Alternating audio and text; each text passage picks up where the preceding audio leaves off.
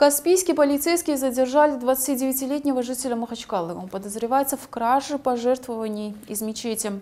Мужчина в содеянном сознался, а похищенные деньги вернул в полном размере. В данный момент устанавливается его причастность к совершению аналогичных Вернули, преступлений. По данному факту возбуждено уголовное дело.